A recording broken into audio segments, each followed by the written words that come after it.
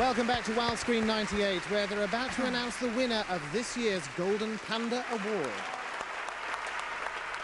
And the winner of the 1998 Golden Panda WWF Award is the Dragons of Galapagos.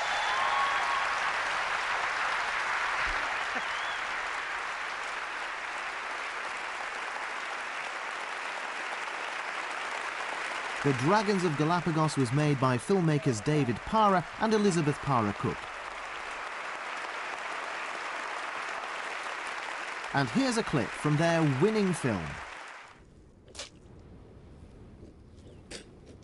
As the iguanas settle down to sleep, they continually spurt liquid from their noses.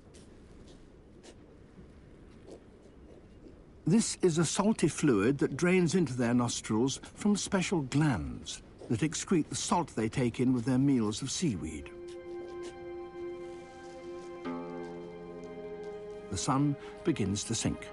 The day cools and the iguanas cluster together to keep warm.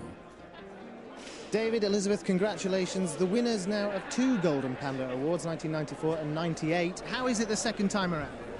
Incredible. We didn't expect anything. You come to these things really not having high hopes, but hoping. And the standard of other films was so high, we didn't have great expectations.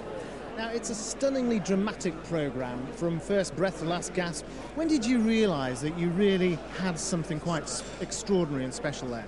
In 1994, uh, a friend of ours who writes about natural history on the Galapagos wrote an article about the land iguanas I was at her place, I read it at one o'clock in the morning. I ran in and woke her up and I said, This is a great yarn. This is just an incredible yarn.